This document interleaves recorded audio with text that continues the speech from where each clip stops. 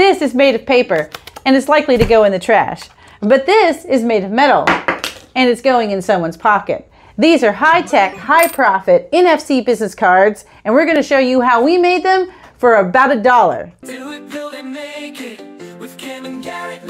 What is up? Welcome back. We know you love to do it, build it, and make it. And we're here to help you sell it. This week we have a techie project for you.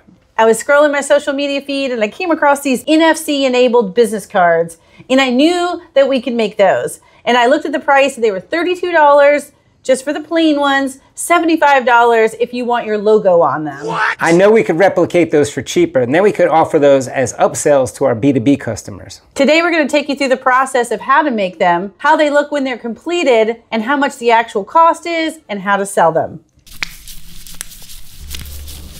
But here's the challenge. With typical NFC tags, you can't just slap it on a metal business card and use it because the metal acts as a Faraday cage which detunes the antenna. The solution here is pretty simple. We're gonna get special NFC tags that can be used on metal.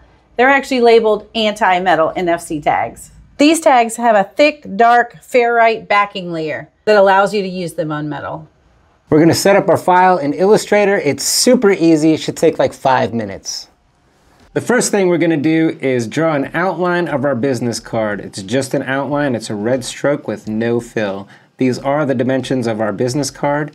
They're 3.35 by 2.08.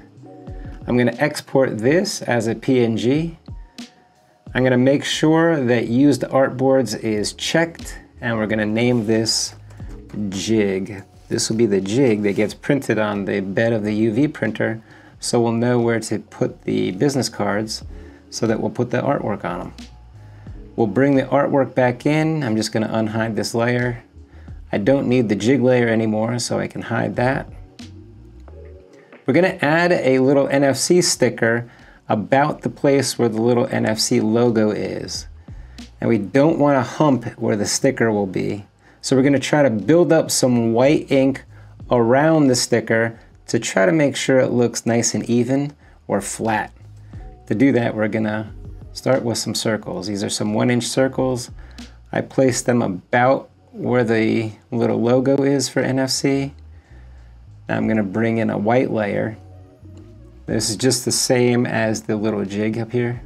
So I'm gonna select the circle and the white backer and we'll say subtract front. And we'll do the same for this guy, subtract front. I'm gonna hide the artwork and we're gonna export this as our white buildup. We'll just say white. This is gonna be our white layer. White layer. Again, we're gonna make sure that used artboards is selected and we'll export this as a PNG. Finally, we'll bring back our artwork and we're just gonna export this as a PNG also. Make sure that used artboards is selected and we're gonna call this one artwork. And we're gonna export as a PNG.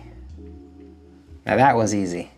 We're using our Seclima mat. This is a sticky mat. This is where we'll print the jig or the outline of our business cards so we know exactly where to place them on the bed. Here we are in our LogoJet Print Pro software. First thing we're gonna do is load our image and we're gonna start with the jig file that we created. And then we're simply going to create an environment. And in this case, we're gonna use color only. And we'll add our jig to the layout. And then we like to push it away from the edge just a little bit for safety purposes. So go over here and say 0.2, 0.2, yeah, okay. And I'm just gonna double check my properties and make sure that I'm only doing color, and I am. I'm gonna adjust my bed height, it's auto adjust. And then we're just going to click print.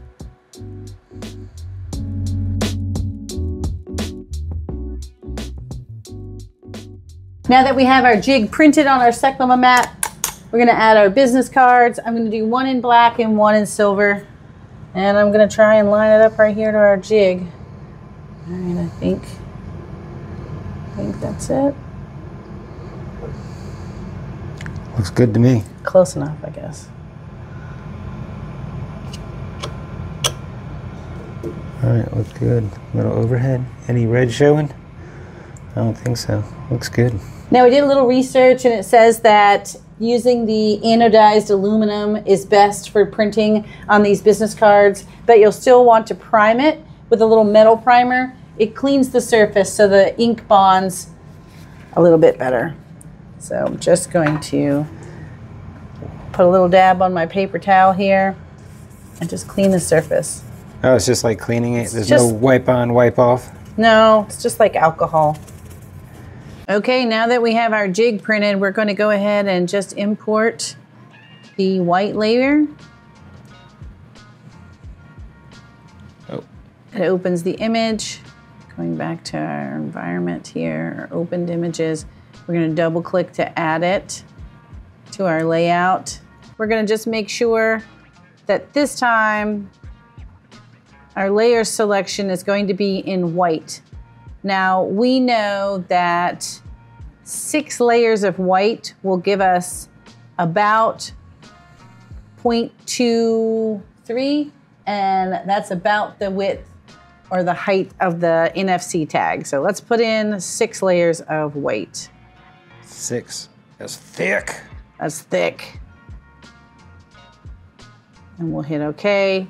And now we'll hit print.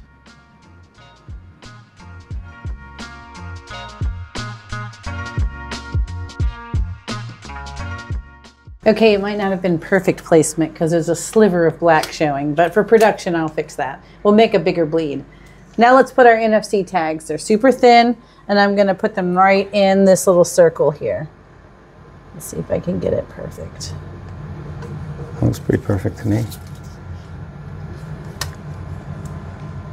And it didn't really matter what color card because we used so many layers of white. Yes. I guess we mm-hmm. could have started with whatever was the least expensive color. They were the same. So it didn't really matter. Doesn't matter. Now that we have our white layer added to our business card, it's time to add our image. So we're going to bring in our image file that Garrett created. Open our layout, add our artwork. We're to go ahead before we forget and offset. Because I did it to the first one, I have to do it to all of them. And now let's go in and update our layers. Okay, do we think we should do two white layers to cover up the NFC tag, you think? Yes, I think two white layers just to make sure that silver tag is covered. One color, and then I'm gonna add the clear gloss just to make sure that the that it's durable when you're using it and carrying it in your pocket. So I've got two whites, one color, one clear. Agreed. I don't have to adjust the height. I'm still using the same thing, so I'm just going to go ahead and hit print.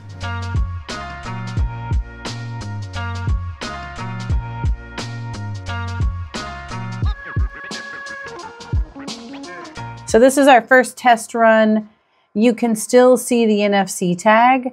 So I think what we're going to do is try a different approach. I think we're going to do six layers of braille. Braille is what builds texture when you're doing UV printing. So I'm going to try six layers of braille, see if that gives me a larger, deeper pocket to put the NFC tag in.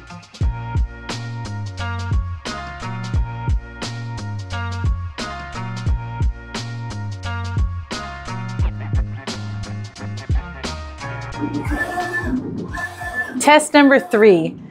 Six layers of braille was way too many. So I don't know what we were thinking because one layer of braille is four layers of white. So we were, it ended up being way too thick. So we're going to try again with two layers of braille. I think we finally have it figured out. It's four layers of braille, puts us at 0.28. The tag is 0.27. So I think we're good. Now we're going to add our color on top. Three layers of white, one layer of color and a layer of clear.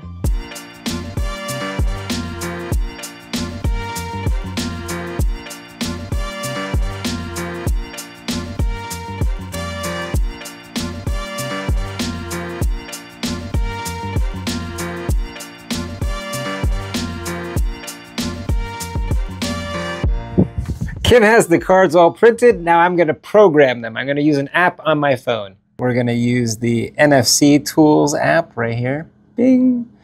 I'm going to go to write. I'm going to add a record. We'll add a URL. I have a URL saved in my clipboard. We'll paste that in. We'll say OK. Now I'm going to click Write Bytes. Now I'm going to take this little circle area and I'm going to scan it. Complete. Close it. We'll close the app and we're going to test it. There we are. Look at that. Look how easy that is. We found three different metal business cards. They have the 0.018 millimeter. This is a thin guy. This is 18 cents a piece. Listen to this. It's thin. We'll drop it on the desk here. No, no real sound. Then there's a slightly thicker version. This is. I can't really bend it like that. Doesn't really bend. This is 0.41 and this is 22 cents a piece. We'll do the drop test. That sounds like it's metal. And then finally we found 0.8. This is a thick guy. This is 50 cents a piece. This is definitely metal. We'll do the drop test. That is definitely metal. And we found some plastic versions we didn't think we needed, and those were only 13 cents a piece. For our total cost breakdown, the cards were 24 cents each. This is for the medium thickness. The braille layers were 99 cents. The color layer was 57 cents and the second side white color layer was 25 cents for a total cost of $2.05 and this is for the two cards that we did. So they're actually about a dollar two each. Now we won't just sell these as cards. We're going to sell these as digital profiles or forever cards. We're going to have some nice packaging. It's going to be a black box with a shiny logo on there. You open it up with some more black packaging. Put the card in here. Opening this is going to be an experience and worth the money. Yes, you can sell these anywhere from 25 to $50. You're way undercutting the big guys and you can use these over and over again. So they're perfect for folks like realtors, salesmen, tradesmen that are talking to clients all day, every day. These cards are perfect to transfer your information and then keep them right in your pocket. Or you can give it right to them if you feel like you've got a bunch of them, give it to them. But they're really just for you to have and tap at any point.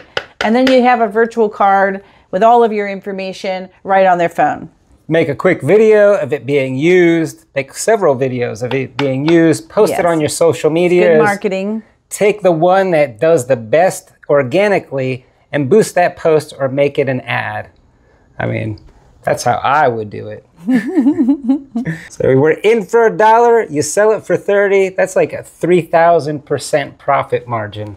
That is a good chunk of change. Yeah, I like it. It worked. I mean, that's what we wanted to do is make sure this idea that we had worked, and it did. I love them. I think they're great.